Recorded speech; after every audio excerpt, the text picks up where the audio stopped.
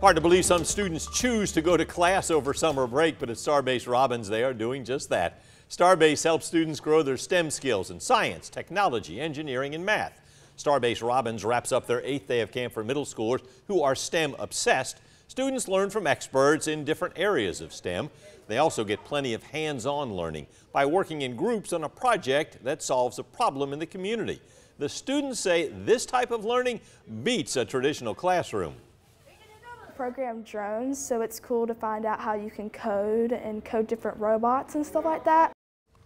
The Department of Defense helps pay for the program in the hopes of inspiring more children to go into a STEM-related career.